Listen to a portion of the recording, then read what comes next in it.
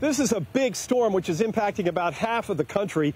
On the warm side or the eastern side, we've had tornadoes touching down, wind gusts to 70 miles an hour around Buffalo, heavy rain on snowmelt in the northeast and mid-Atlantic, prompting a lot of flash flood watches and warnings. Back here on the cold side, we're in Rockford. We're about an hour and a half northwest of Chicago.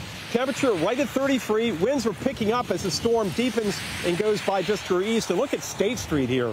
What a snowy, slushy mess. Plows are keeping up with the snowfall rate right now of about an hour, uh, one, inch an hour. We've got about four on the ground. We're looking for a snowstorm total of six plus. This is going to wind down this evening. Also in Chicago, O'Hare's been in pretty good shape. So far, no ground delay program because most of what they've seen has been rain and wet snow. But there's another storm on the way for the Midwest Thursday night and Friday. Chicago could get six inches or more. And then Arctic air plunges south, the first Arctic air mass of the season for millions. Temperatures here in Rockford early next week, high temperatures may not even get to zero. I'm meteorologist Mike Seidel, the Weather Channel, Rockford, Illinois.